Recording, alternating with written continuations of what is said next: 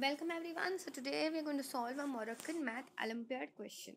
So here we have 5x plus 1 upon 7x equals to 15 and we need to find 49x square plus 1 upon 25x square. So this is where the things get tricky because we need a 49x square on top. So we'll come to this particular point as and when we'll solve the particular question. But first we'll just because we need squares on both the sides, we'll take squares on both the sides of the given situation. So 5x square gets you what?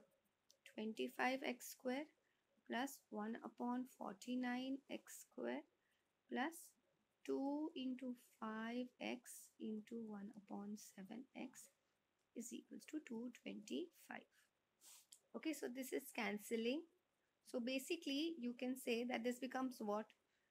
Here this entire thing will become 2 into 5 which is what? 10 10 upon 7 that gets you what? This is basically now coming out to be 10 upon 7 okay? So now we'll keep all the x's on one side and the numer uh, numericals on the another side. So basically what we can do is now this i can say is coming out to be 225 minus 10 upon x. Okay, so this then comes out to be 7 into 225 minus that gets you 1575 minus 10 gets you what? 1565 upon 7 okay now your problem is that you need a 49 on top and 25 in the denominator.